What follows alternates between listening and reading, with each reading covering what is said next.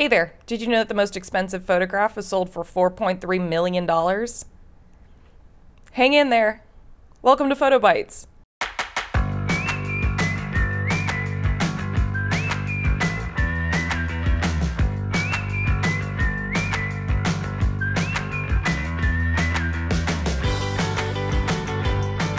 Today, we're going over the top five tips for better iPhone photos.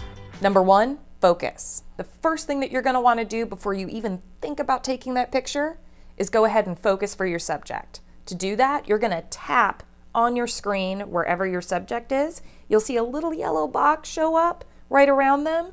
This is doing two things. This is focusing for your subject and it's exposing for them. Number two, exposure. Did you know that you can actually make your pictures brighter or darker before you even take it? After you tap to focus, right next to that little yellow square, you should see a little yellow sun. If you take your finger and you drag up and down on that sun, you should be able to see your picture getting brighter when you go up and darker when you go down. Number three, shutter buttons.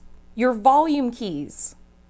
Yeah, I know, are shutter buttons. Isn't that crazy? So rather than trying to hold the camera like this and hit that button on the back of it, flip it around, hold it this way, and now you've got your shutter up here by your index finger. Number four, swipe up. When you play back your photo, swipe up on it. It will reveal a bunch of different options you probably didn't know were there.